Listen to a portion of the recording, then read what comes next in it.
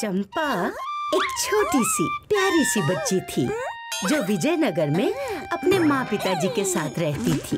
लेकिन उसका सबसे अच्छा दोस्त, उसका चूहा मिनी था, जिसके साथ वो दिन भर खेला करती थी।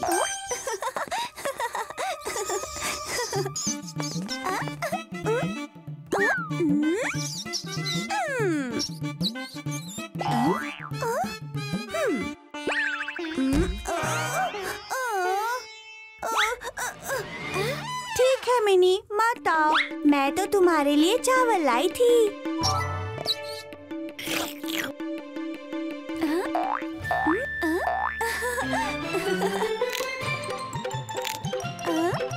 चंपा, छुप जाओ, मिनी। छुप जाओ। ओ, चंपा। हो गया खिला के। अरे, बस इसी को खिलाती रहोगी। या घर में भी कुछ खाने का इंतज़ाम करोगी। जाओ और सूखी लकड़ियाँ ले आओ। तभी खाना बनेगा। मैं अब भी गई और अब भी आई। और हाँ आज मैं और मिनी खीर खाएँगे।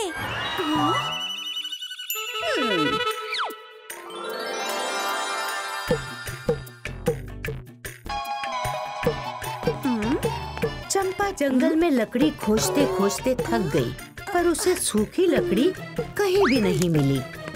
कहाँ से लाऊं सूखी लकड़ियाँ? चंपा इतनी थक चुकी थी कि बैठते ही उसकी आँख लग गई।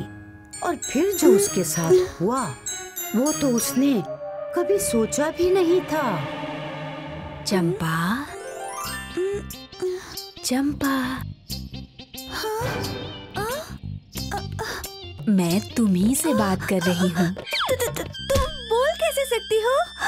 क्योंकि तुम मुझे सुन सकती हो।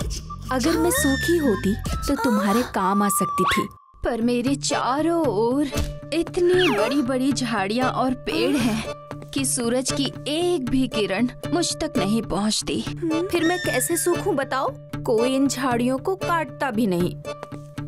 मेरी तरफ़ मत देखो। मेरी कोई गलती नहीं। ये देखो मैं तो खुद गीली हूँ क्योंकि मुझ तक भी सूरज की किरणें नहीं पहुँचती। हैं? पत्ता भी बोल रहा है। हाँ तुम सुन रही हो। इसका मतलब मैं बोल रही हूँ। और हाँ गलती सूरज की है मेरी नहीं। इसमें मैं क्या करूँ? मैं तो सबको रोशनी देना चाहता हूँ पर ये काला बादल मुझे बार बार ढंक देता है। मुझे दोष मत दो। अभी दिखाता हूँ। देखा ये हवा मुझे कहीं और जाने दे तब ना। हम्म।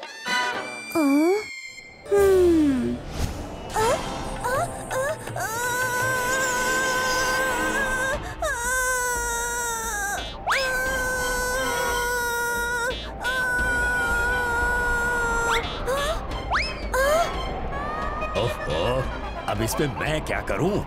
सामने ये ऊँचा महल देख रहे हो। इसका द्वार तो हमेशा बंद ही रहता है। फिर बताओ। मैं उस पार कैसे जाऊँ? सबकी बात सुनने के बाद चंपा को लगा कि ये सब परेशानी राजमहल के द्वार के कारण हो रही है। इसीलिए वो सीधे राजमहल जाके महारानी से मिली। तो तुम जानना चाहती हो कि मैं द्वार बंद क्यों रखती हूँ? उस तोते को देख रही हो? वो मुझे इतनी अच्छी अच्छी कहानियाँ सुनाता है कि मैं नहीं चाहती कि द्वार खुलने से उस पे कोई बाधा पड़े। तो तुम हो सारी समस्या की जड़। नहीं नहीं नहीं मैं तो खुद समस्या से भाग के यहाँ आया हूँ। जंगल के तालाब का मालिक बार बार मेरे घोंसले को पानी में डुबाने की धमकी देता रहता था। चंपा जहाँ भी जाती उसे एक नई समस्या के बारे में पता चलता पर उसने भी ठान लिया था कि वो सबकी समस्या दूर करके ही रहेगी चाहे उसे जंगल जाना पड़े। और ये सोच वो तोते के बताए पते पर पहुँच गई। तो तोता यहाँ रहता था। इसी तालाब से ये सारी समस्या शुरू हुई है।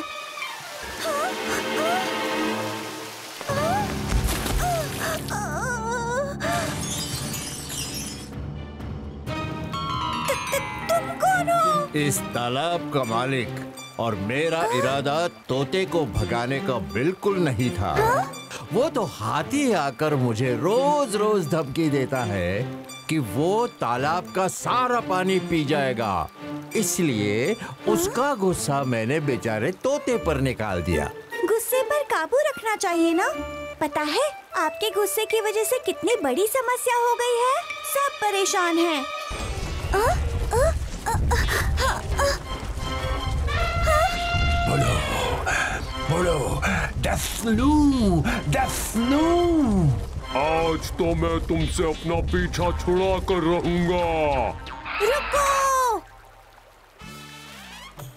आप इस तालाब का सारा पानी पी जाएँगे तो बाकी जानवर क्या पिएँगे तो क्या करूँ बताओ? ये सांप मेरे पूछ पर बैठ के मुझे डसने की धमकी देता है। मैं तो बस अपने ऊपर पूरे तालाब का पानी डालकर इस सांप को पूछ से बहाना चाहता हूँ, क्योंकि मेरी सूंड पूछ तक नहीं पहुँच पाती है।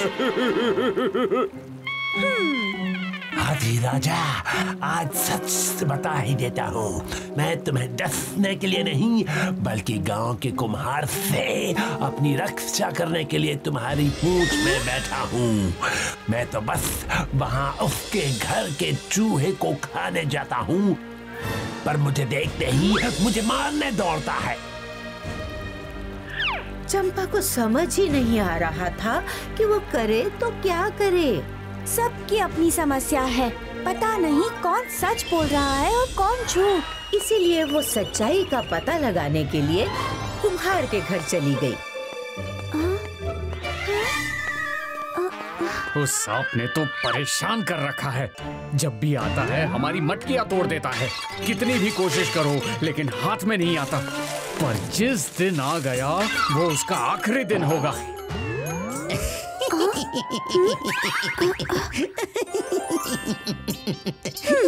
तुम क्यों हंस रहे हो? हंसू नहीं तो क्या करूँ? कितना मूर्ख इंसान है। अरे उसे तो ये भी नहीं पता कि सांप मटके तोड़ने नहीं मुझे खाने यहाँ आता है। हाँ। मतलब? मैं तो यहाँ खाने की खोज में आता हूँ। बस चार दाने चावल के लिए। और इसके बनाए हुए मटकों में रहने का भी इंतज़ाम हो जाता है। क्या? खोदा पहाड़ और निकला चूहा। अरे भाई तुम्हें अंदाज़ा भी है?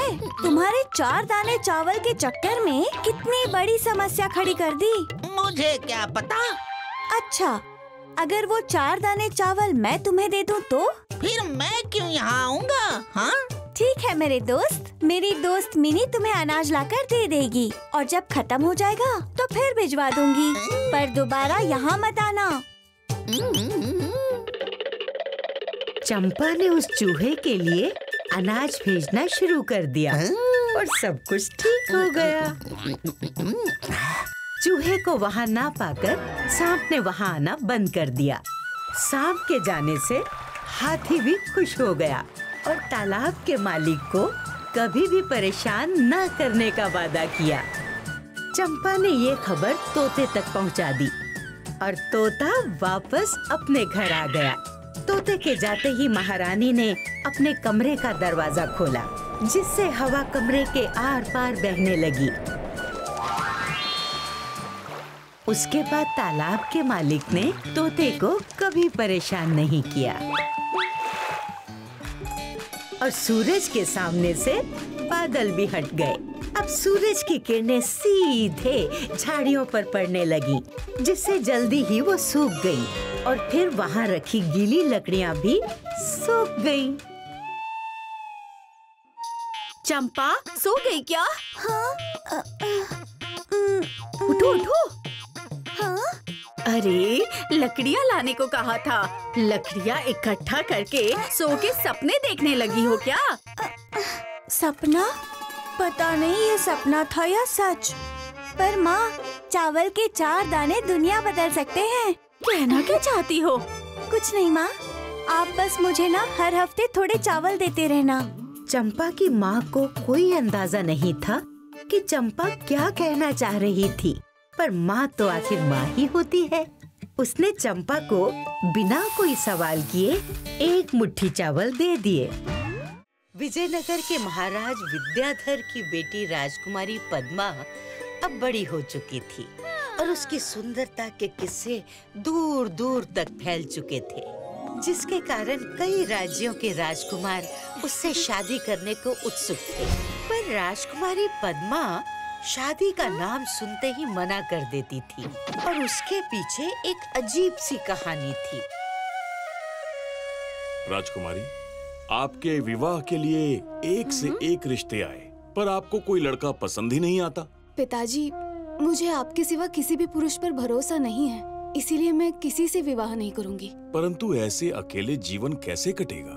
मैं तुमसे प्रार्थना करता हूँ कि किसी अच्छे से लड़के से विवाह कर लो।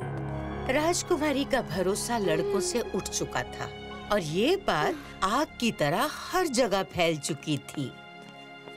ये बात पड़ोसी राज्य उत्तम नगर के राजकुमार वेंकट को भी पता चली और सब जानने के बाद उसने राजकुमारी से मिलने की सोची और भेष बदलकर विजयनगर पहुँच गया। सुना है राजकुमारी को लड़के पसंद नहीं। पर इसके पीछे कोई तो कारण होगा हम्म, सबसे पहले मुझे उस कारण का पता लगाना होगा पर किससे पूछूँ किससे पूछूँ अरे इस बार छोड़ दे मुन्ना अगली बार ज़्यादा बोझ नहीं डालूँगा बचाओ अ, भाई साहब सुनिए अरे जी बोलिए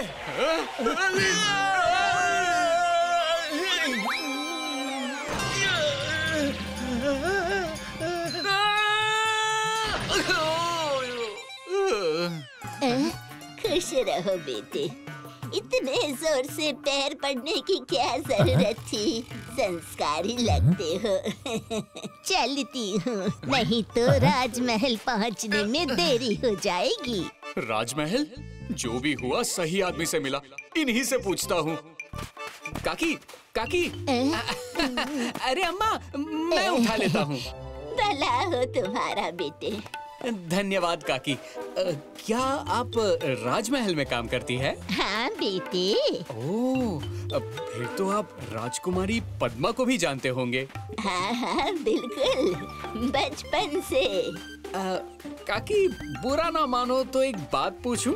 हाँ हाँ पूछो। अ, फिर ये बताओ कि राजकुमारी पद्मा लड़कों से नफरत क्यों करती है? क्या बताऊँ बेटे? बहुत लंबी कहानी है। अब रास्ता भी तो लंबा है। कहानी सुनते सुनते रास्ता कट जाएगा। ठीक है सुनाती हूँ। राजकुमारी को बचपन से ही एक दासी से बड़ा लगाव था। उसी दासी ने शुरू से ही उसकी देखभाल की थी और उसी दौरान वो रोज राजकुमारी को एक ही कहानी सुनाती थी। कहानी थी एक खूबसूरत मैना परिवार की। जिसमें मैना, उसका पति और दो बच्चे थे। सब लोग खुशी खुशी अपने घोंसले में रहते थे। पर एक दिन पेड़ में आग लग गई। बेचारी मैना अपने पति से कहती रही कि वो उन्हें और बच्चों को कहीं सुरक्षित ले जाए। पर उसका पति तो ये सोचता रहा कि आग कुछ ही देर में बुझ जाएगी। देखते ही देखते पेड़ के साथ मैना और उसके बच्चे भी जल गए और उसका पति उन्हें छोड़कर उड़ गया। ये तो बहुत बुरा किया मैना के पति ने। यही राजकुमारी को भी लगता है। बार बार एक ही कहानी सुनने की वजह से वो इतनी प्रभावित हो गई कि धीरे धीरे उसे लगने लगा कि उसका ये जन्म उसी मैना का दूसरा जन्म है। और पिछले जन्म में उसके पति ने उसके साथ इतना बुरा किया था इसलिए वो हर लड़के से नफरत करती है।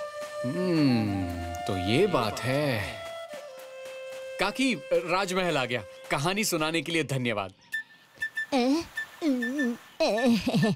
जीते रहे बेटा। तो ये कारण है राजकुमारी के लड़कों के प्रति नफरत का। मुझे कुछ ऐसा उपाय सोचना पड़ेगा जिससे राजकुमारी की नफरत खत्म हो जाए। महाराज मैं एक कहानीकार हूँ। मेरे पास रंग बिरंगे नए पुराने देश विदेश हर तरह और हर जगह की कहानियाँ हैं। अगर आप आदेश दे तो मैं वो आपको सुनाना चाहता हूँ। हाँ हाँ क्यों नहीं? आदेश है। पर महाराज मेरी एक शर्त है। कैसी शर्त? मैं किसी स्त्री से बात नहीं करूँगा। और अपनी कहानी भी किसी स्त्री को नहीं सुनाऊँगा। ये कैसी शर्त है? क्या मैं इसका कारण जान सकता हूँ? ज़रूर महाराज। जब मैं कहानियों के लिए देश विदेश घूम रहा था तब मैं एक साधु से मिला। उन्होंने मेरी सेवा से खुश होकर मुझे बताया कि पिछले जन्म में मैं एक नर मैना था। मैं अपनी पत्नी और बच्चों के साथ एक पेड़ में रहता था। फिर एक दिन उस पेड़ में आग लग गई। और मेरी पत्नी हम सबको उस आग में जलता छोड़ वहाँ से चली गई। मैं उससे हम सबको बचाने को बोलता रहा पर उसने मेरी एक ना सुनी और बस अपने प्राण बचा के चली गई।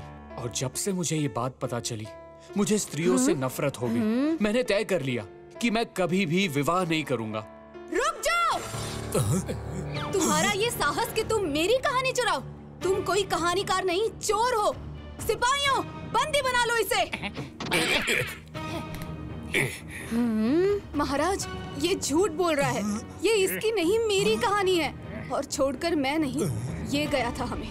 मैं वही मैना हूँ जो पिछले जन्म में तुम्हारी पत्नी थी। नहीं महाराज मेरी कहानियाँ बिल्कुल सच्ची है। झूठ तो ये बोल रही है। नहीं तुम झूठ बोल रहे हो। राजकुमारी पद्मा और राजकुमार वेंकट की लड़ाई रुकने का नाम ही नहीं ले रही थी। दोनों को अपनी कहानी सच्ची लगती थी। महाराज विद्याधर ने जब ये देखा तो कुछ सोचकर उनकी लड़ाई को रोकने की सोची। रुको। ये मेरा दरबार है। यहाँ की मर्यादा कोई भंग नहीं कर सकता। इसके लिए तुम दोनों को दंड मिल सकता है। क्षमा महाराज। क्षमा कीजिए महाराज पर आपके राज्य का ये कैसा न्याय है? मैंने तो बस एक ही शर्त रखी थी।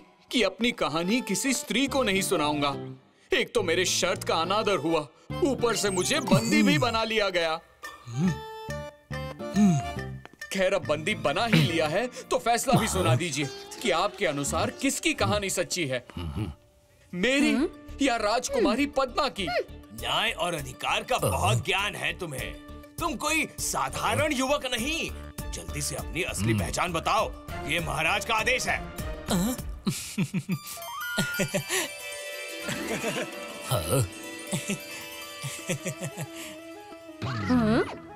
राजकुमार वेंकट आप महाराज महाराज ये हमारे पड़ोसी राज्य उत्तम नगर के राजकुमार वेंकट हैं। बहुत ही बुद्धिमान और बहादुर। अच्छा तो ये बात है। खैर अब मैं अपना फैसला सुनाऊँगा। राजकुमारी को लगता है कि पिछले जन्म में उसका पति यानी नर मैना ने उसे धोखा दिया। जबकि राजकुमार वेंकट की कहानी के अनुसार धोखा उसकी पत्नी मैना ने उसे दिया। पर गलती जिसकी भी हो तुम दोनों को ये पता है कि वो एक गलती थी। और इस जन्म में तुम दोनों ये बात जानते हो। जी महाराज। देखो मेरा मानना है कि ये मायने नहीं रखता कि पिछले जन्म में तुम क्या थे और तुमने क्या गलतियाँ की थी। मायने ये रखता है कि इस जन्म में तुम्हें क्या करना चाहिए। यदि तुम चाहो तो अपने पिछले जन्म की भूल को इस जन्म में सुधार सकते हो। वो कैसे महाराज? तुम दोनों विवाह कर लो और फिर साथ साथ बिना उस गलती को दोहराए रह सकते हो। पद्मा और वेंकट को महाराज की बात समझ में आ गई और दोनों ने शादी कर ली और साथ साथ मिलकर प्यार से रहने लगे। you like this video, subscribe to our channel Murthy Media.